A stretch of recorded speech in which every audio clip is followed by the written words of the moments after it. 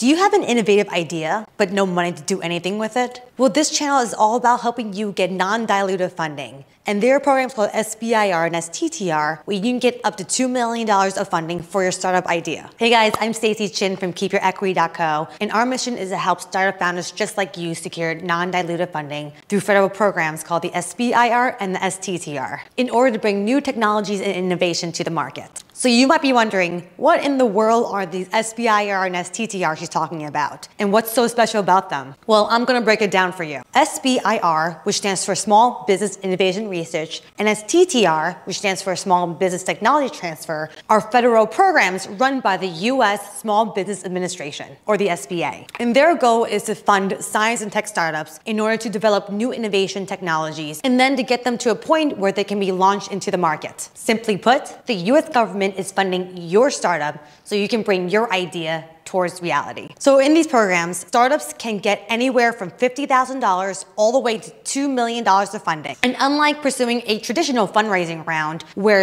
investors are looking for an equity stake in your company in return for their investment, these grants are non-dilutive. And that essentially means you keep all the equity in your company. Some would say it's free money for your company. And no, these are also not business loans similar to the one you'll get from the bank. I know this sounds way too good to be true, but there's just a small catch to this funding opportunity. Getting grants from these SBIR STTR programs can be very, very competitive. And sometimes just preparing an application can be super long, super complex, and sometimes super confusing. And these programs are so competitive that some would say there's less than a 10% chance of actually getting awarded. And I understand this can be super daunting, especially going into this process as the first timer. And these applications can range anywhere from 50 pages long all the way to over 150 pages. So I get it, it can be super frustrating and overwhelming to many. But you still don't want to miss your chance. And as a former startup founder myself, I understood how crazy confusing it was to navigate the entire process. And after securing over a million dollars of SBIR funding for my own startup, and also serving as an SBIR reviewer myself for a couple of different agencies, I now want to pass along the tips and tricks to you guys in order to secure SBIR funding for your startup. To date, I've had the pleasure of working with over 100 different startups to secure SBIR funding, and in total, we were able to raise over $10 million